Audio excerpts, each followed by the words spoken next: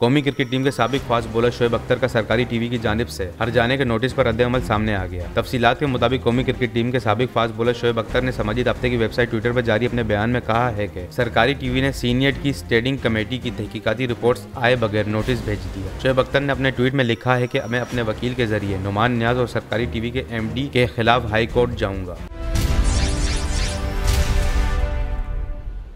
बोल ब्रीफ्स की वीडियो सबसे पहले देखने के लिए बोल ब्रीफ्स के चैनल को सब्सक्राइब करें और बेल आइकन पर क्लिक करना ना भूलें।